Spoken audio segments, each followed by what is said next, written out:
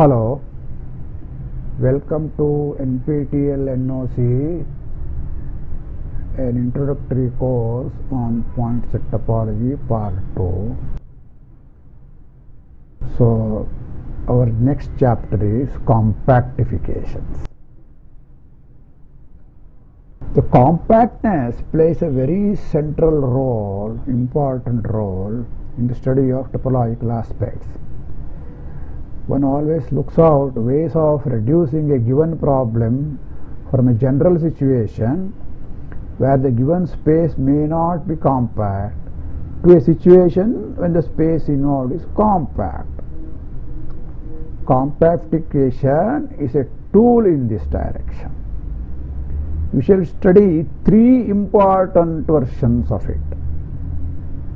In this chapter, we begin with the study of Alexandrov's one point compactification in full detail. Then take up one of the closely related computers, namely proper maps. After that, we'll study Stone-Čech compactification. The third one, see, I mentioned three of them. Third one, which is Wallman compactification, that will be later on. It will not be taken in this chapter because that requires some other notions to be developed. So, welcome to module 18. So, first we shall discuss some generalities about compactification. Let X be a topological space.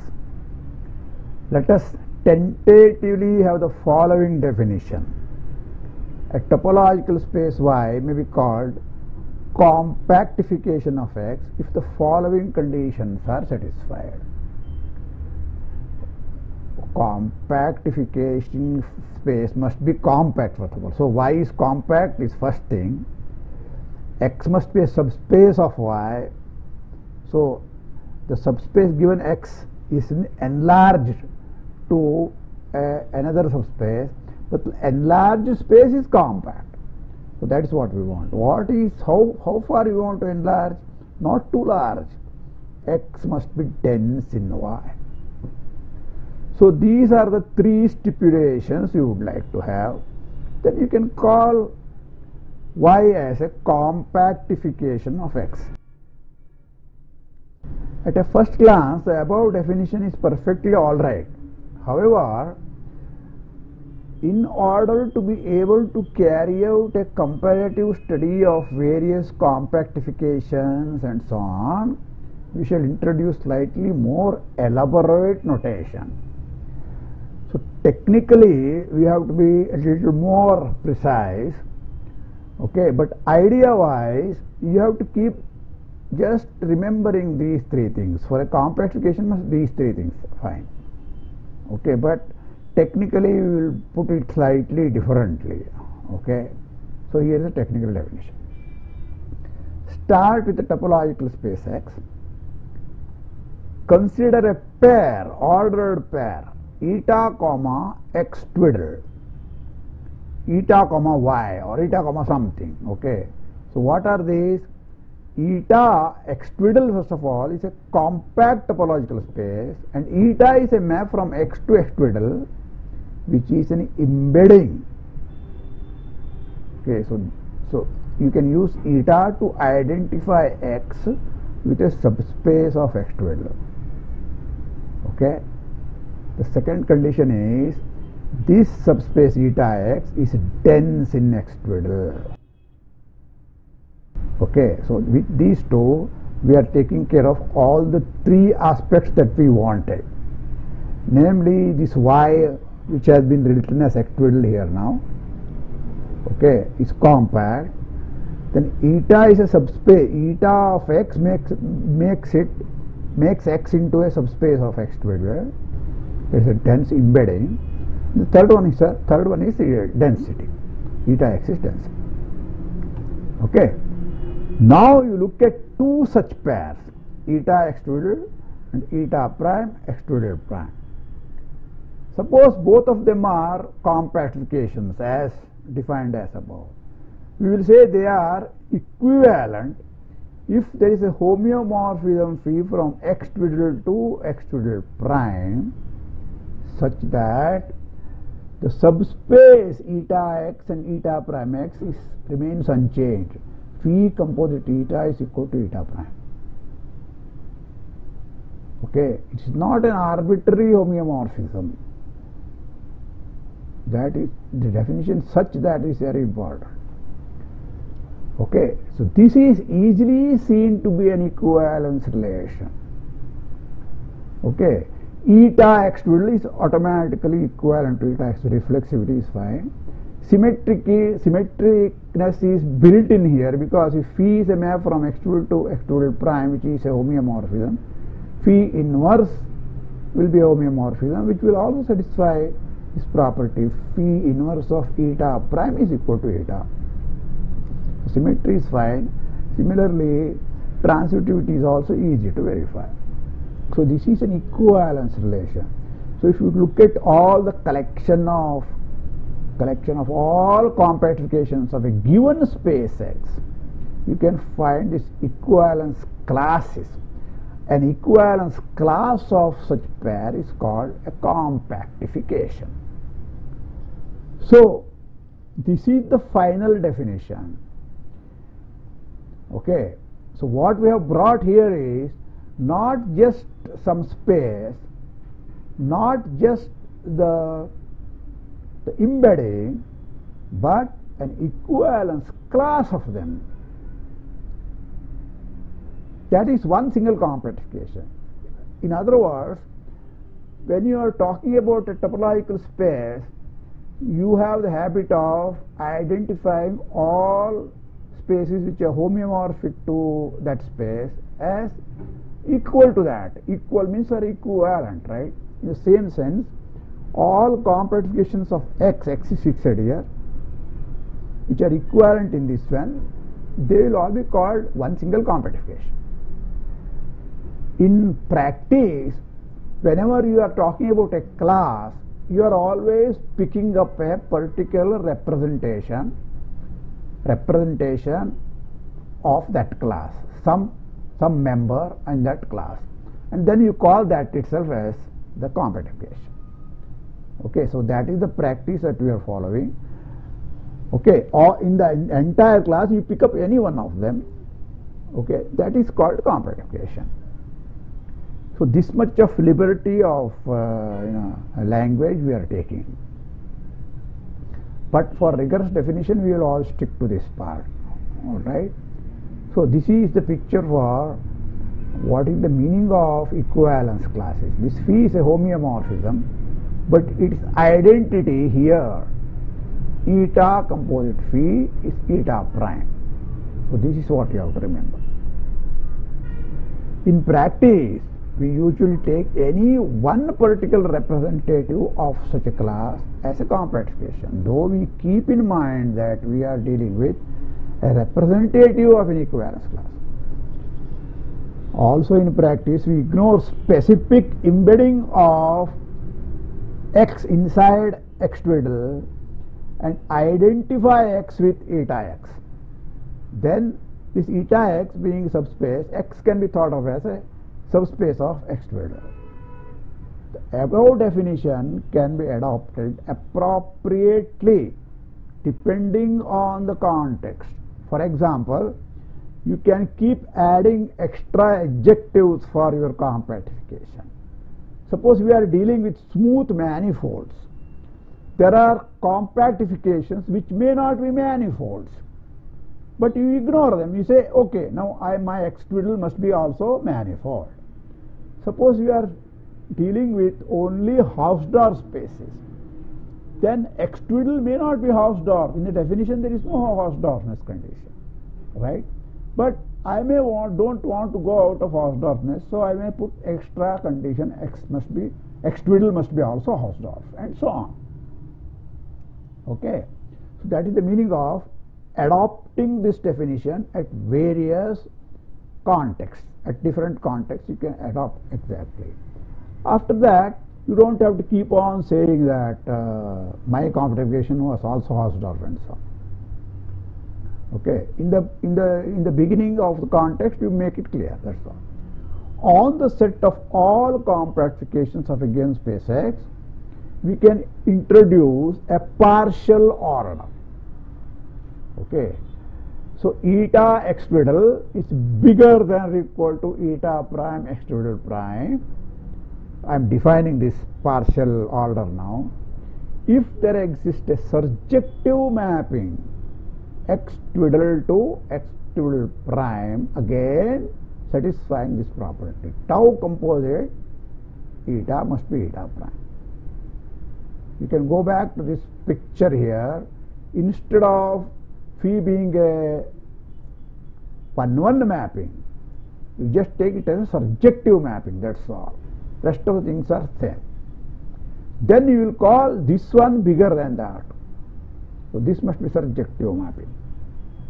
Alright, so that is the partial ordering. It's easily to see that. Okay, x itself is, x twiddle itself is bigger than equal to itself and it is anti-symmetric and it is transitive. Composite of two surjective maps, surjective and so on. So this is clearly a partial order. Alright. The above revelation is clearly reflexive and transitive. What about antisymmetry? So I said it is may not be antisymmetric, but I have to be careful here. It is not clear if eta 1 x1, eta 2 x2 are two compactifications of x, each one is greater than or equal to other, then whether they are equal, that means equivalent or not. See, equality here is equivalence, right? As a class. So, can you prove that? Unless you prove this, you will not have you, will not have uh, you, can't really call it a partial ordering, right? Something x is greater than or equal to y and y is greater than or equal to x, you should have x equal to y, right?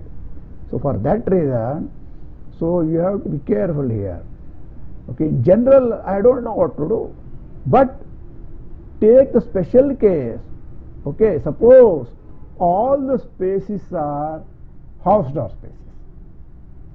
Then we are in a fine shape. Namely, if tau 1 from x1 to x2 and tau 2 from x2 to x1 are surjective mapping such that tau 1 eta 1 is eta 2 and tau 2 eta 2 to eta 1, then it follows that tau 1 tau 2 eta 2 is eta 2 and hence tau 1 tau 2 is identity map on the dense subset eta 2x of x2 right since x2 is Hausdorff and a function the two functions tau 1 compared to tau 2 uh, and identity map they are both defined on the whole space and they are equal on a dense subset they must be equal because the set of points where two continuous functions are equal is a closed subset. If a closed subset is dense also, then it must be the whole space, that's all. Likewise, it follows that tau 2 composite tau 1 is also identity of x1. Therefore, tau 1 is a homeomorphism. Tau 1, tau 2 is the, its inverse. Okay. This just means that these two are equivalent. Okay, so if you use the Hausdorffness, then you are in a shape. So this is one strong reason why we will restrict ourselves to the study of Hausdorff compactifications. Okay. In our mind, we will keep thinking about Hausdorff compactification. But in the definition, we allow ourselves to go out of Hausdorffness. I haven't put any condition Hausdorffness in the definition. Okay. Indeed, we will study the third one which we study. We are going out of Hausdorffness for that.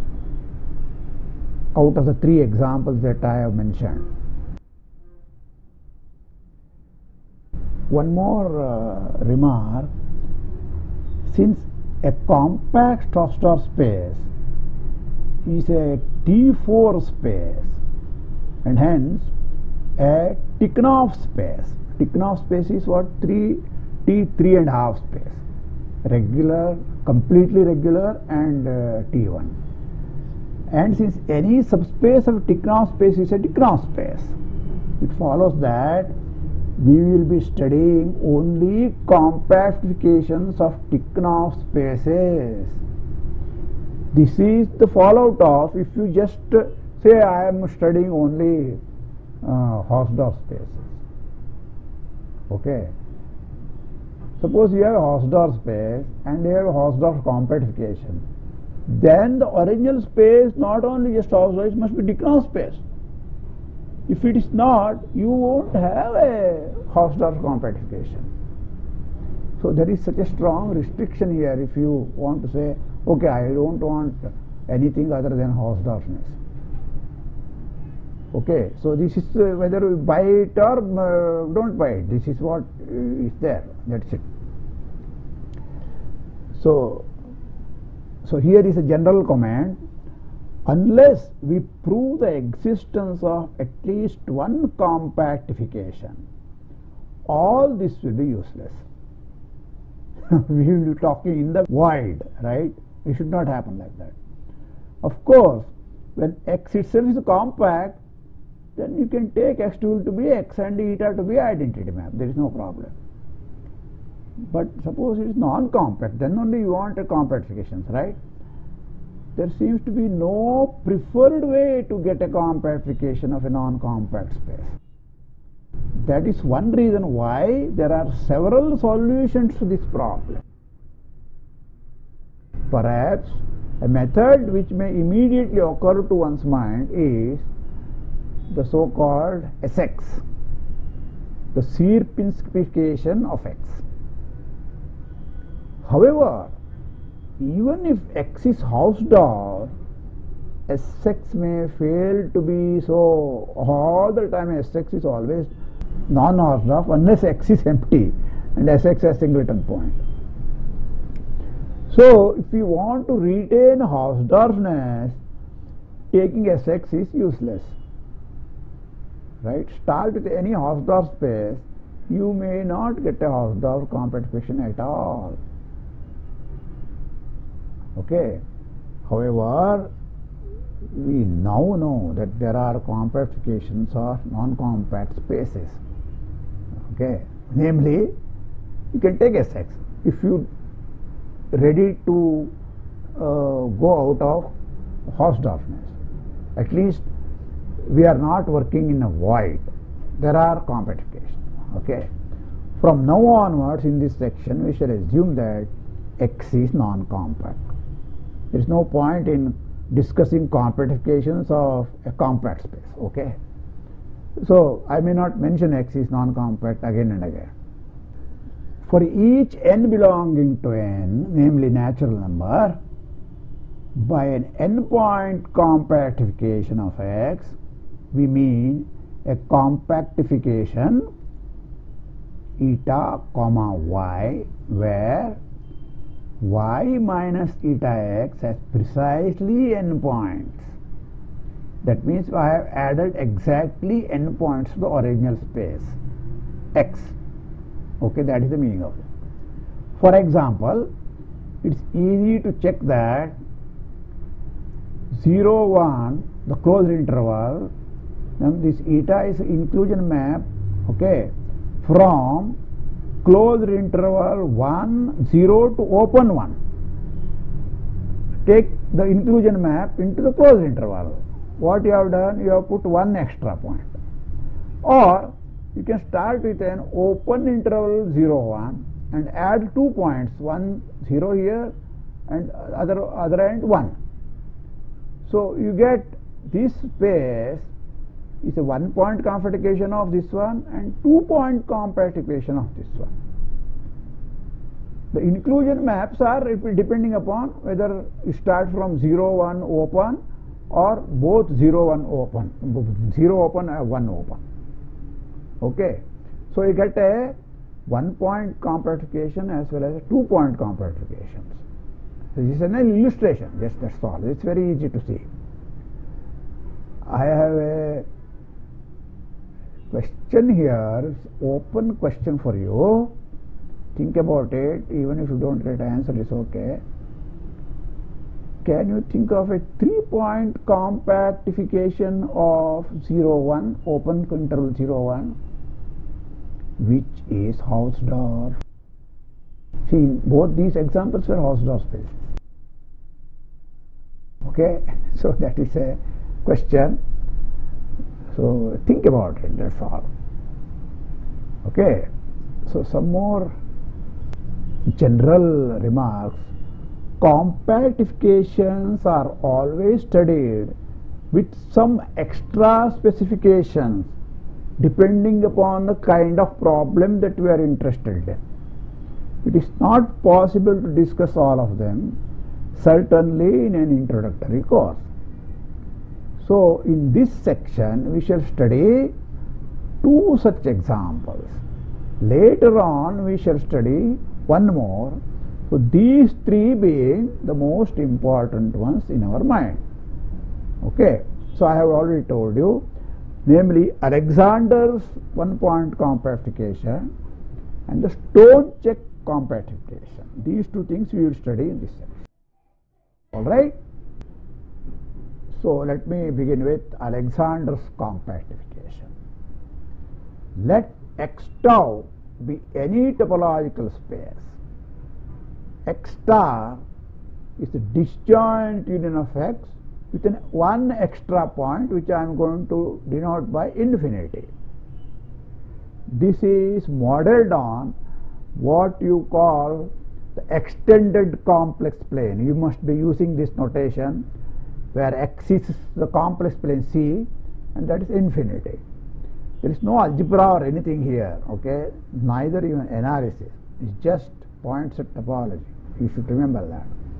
Let tau star be the family of all subsets A of x star such that if A inside x then A must be tau. All subsets of x which are inside the tau, they are allowed inside tau star. So that is the first condition. Otherwise, what are they? They must be containing infinity, right? So x star minus a, when you throw away a from x star, what you get? You will get a subspace of x, right? So that must be closed and compact subset of x. Okay. So this is the condition on tau star. Now this tau star becomes a topology which is compact topology on x star. Whenever x is not compact, this is the standing uh, assumption I have, but here this construction I could have done it for even when x is compact. If it's of any use, you can use it. Otherwise, you can throw it away. But for logical reasons, I could have done this one even for a x is a compact set. That is why I am telling whenever x is not compact, that is our uh, you know central uh, theme here. Then what happens? Eta x star is a compactification of x, where eta from x to x star is the inclusion map. See, this is just a set theoretically, it is just x union infinity. So there is an inclusion map. Further, x star is Hausdorff if and only if x is Hausdorff and locally compact. Once again, we are hitting the notion of locally compactness here in Alexander's compactification. So, Alexander's compactification is able to achieve Hausdorffness provided we start with Hausdorff and locally compact space. So, this is the conclusion. Okay. So, let us do this one by one.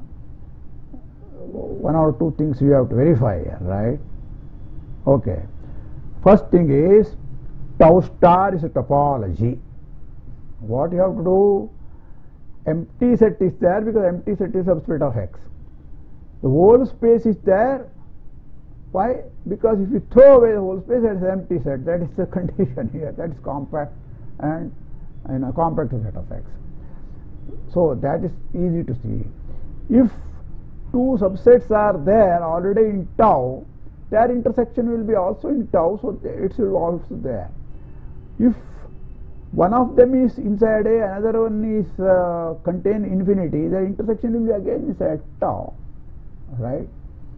So union, arbitrary union of open subsets is there because once one of them is closed and compact subset, the entire union, you know, arbitrary infinity, that will be subsets of that one, closed subsets of that one. So it's easy to verify, I have verified it already, that tau star is a topology. This topology, when you restrict it to x, becomes precisely tau. So the inclusion map is a homeomorphism. Okay. Inclusion map x to x, x to x infinity is a homeomorphism. Because every open subset here becomes open subset and vice versa under the inclusion. Alright. So, if ui is an open cover for x star, uh, I have to verify that x star is now compact. Let us say infinity belongs to u1. It has to be in one of the open sets. Put f equal to x star minus u1. Okay. U1 being open subset containing an infinity, f must be compact subset of x star, closed and compact subset of x star. And ui, all other ui, intersection x, i not equal to 1, that will be a cover for x. You don't need i equal to 1 because that, that part containing infinity. Rest of them have to cover this one. Okay. Therefore, we will get a finite cover u1, u2, un such that f is contained inside u2 intersection f etc. un intersection f. Then it's clear that x star will be contained inside u1, u2 and un. Okay, you have to just come back to x by using one subset which contains one open subset which contains infinity. Okay, so x star is compact. Now come to the hypothesis if x is not compact, then it follows that every neighborhood of infinity should intersect x. If x were compact, infinity itself would have been open subset, singleton infinity, because complement is compact and closed. x itself is compact and x is closed inside x. So that is not the case. Okay, singleton infinity complement will be x and it's not compact, therefore it is not singleton infinity is not open. Okay, so every open subset must contain some point of x, that's all. Which just means that the closure of x is the whole of x star or existence. Okay, this shows that eta composing x star is a compactification in our definition. Okay, it is it may be worth to note that x itself is an open subspace of x star. Singleton infinity is closed. Why? Because its complement is the whole of space x and that belongs to tau. Therefore, it is in tau star. Okay, so x itself, eta x, if you can, if you want to say, is an open subset of tau star, x star. Open and dense. This much we have seen. Finally, we want to show that x star is Hausdorff if and only if x is locally compact in Hausdorff. If x star is Hausdorff, being a subspace, x will be Hausdorff. So that is easy. Okay. Why it is locally compact? Let x belong to x and y belong to x star be any two points. So I am talking about now here sorry I am talking about y x star is Hausdorff. If you take two points of x, distinct points of x, you can separate them inside X itself, therefore they are separated inside X star also. So now suppose one of the point is Y, uh, X belongs to X, Y belongs to X star be any two points. If Y is not infinity, take disjoint open subsets U and V such that X and X and Y are inside V. Both of them are open in X star also, so we are done. So if Y is infinity, that is important case. Using local compactness of X, we may assume that the closure of U in X is compact. Okay, you can start with a open subset around U such that U bar is compact. Then X star minus U bar is a neighborhood of infinity in X star which is distant from U. Therefore, X star is Hausdorff. Okay, so I am proving here X star Hausdorff using local compactness and Hausdorffness of X. Okay, the converse part I come now. Suppose X star is Hausdorff, then being a subspace, X is also Hausdorff. Moreover, for X belonging to X, if U and Z are disjoint open subsets of X star, such that X is in U and infinity is Z, then by the very definition, U is inside X is open, X star minus Z is a closed and compact subset of X. Therefore, U is contained in X star minus Z because they are disjoint. X star, U and Z are disjoint means U is contained in their complement. It follows that U bar is compact because U bar is also a subset of this compact subset. Hence, X is locally compact. Okay. Alright. In Hausdorff space, we have proved that there are several equivalent conditions of local compactness. For each point, if you produce a neighborhood such that its closure is compact, then it is locally compact. So, what we have got is that Alexander's compactification is a one point compactification. It will be Hausdorff if we start with a Hausdorff and locally compact space. And that is the most important special case that we are going to study further. Alright? So I make this definition. The above compactification of X is called Alexander's compactification. Alexandrov compactification. Okay? Note that Alexandrov's compactification is a one point compactification. In the literature, it is common practice to refer to it as the one point compactification of X, especially when X is locally compact and Hausdorff space. See, there are many one point compactifications. The compactification that we have constructed, namely Alexandrov's, is a special one. But in the literature is the one point compactification. Whenever you start with locally compact orthogonal people always refer to this one as one point compactification. Okay. So we may also do that. Okay. If it is not Alexander's, we will specifically mention it. That's all. So we may sometimes follow this common practice. All right. Is that clear? Okay, so let us stop here. We shall continue this uh, study of this one and bring the new concept of properness, etc., next time. Thank you.